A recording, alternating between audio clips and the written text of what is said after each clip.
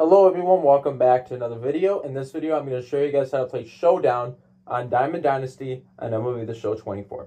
When you go over here to the second column, you're going to see single player modes. Click A. It's going to be the one third over where it says Showdown.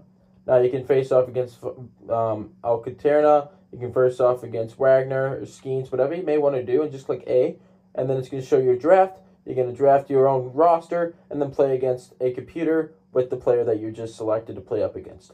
I hope you enjoy the video. As always, please leave a like and subscribe.